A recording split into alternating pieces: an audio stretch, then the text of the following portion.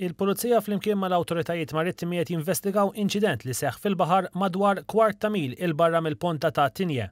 F'dan l-inċident, anzjan ta' 81 sena minn Tas-Sliema tilef ħajtu. Minn informazzjoni li kiseb Favourite News jirriżulta li għall-ħabta tal-għaxra u nofs ta' filgħodu seħħet ħabta bejn yacht bl-isem ta' Sorcery, proprjetà ta' John Zarb u martu Nadia, u fregatina li fuqha kien hemm l-anzjan Joseph Gatt. Jirriżulta li l-ħabta seħħet waqt li ż-żewġ bċejjeċ tal-baħar kienu sejrin lejn il-Port il-Kbir.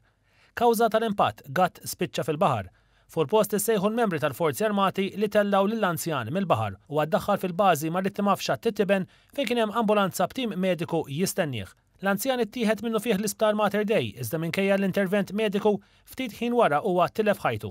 Filwaqt li l-fregatina tal-anzjan għerqet, il-jott Sorcery iddaħħal fil-bażi marittima biex isir l-istħarriġ min-naħa tal-Pulizija tad-Distrett tal-Belt immexxija mill-Ispettur Pierre Micallef Grimaud. Fuq il-post tal-inċident intbagħtu l-għaddasa tal-Forzi Armati biex jinvestigaw id-daqqa li għandha il-fregatina. Bil-każ ġiet informata l-Maġistrat tal-Għassa Dottor Edwina Grima fejn ħatret diversi esperti fosthom it-tabib forensiku Mario Cerri. Il-Pulizija għadhom għaddejjin bl-investigazzjonijiet fuq il-każ.